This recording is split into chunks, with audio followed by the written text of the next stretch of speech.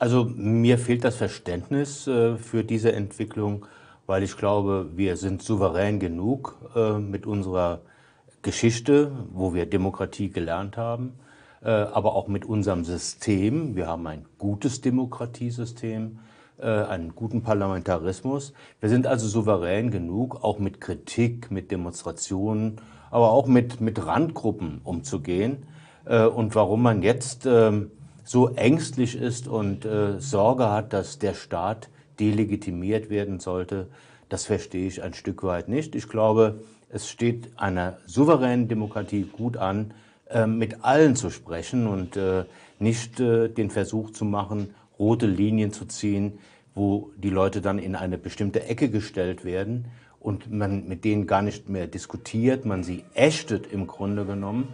Äh, das spaltet die Gesellschaft und ich glaube, die Spaltung der Gesellschaft ist eine große sicherheitspolitische Gefahr für die Zukunft. Und da würde ich gerne gleich nochmal drauf eingehen.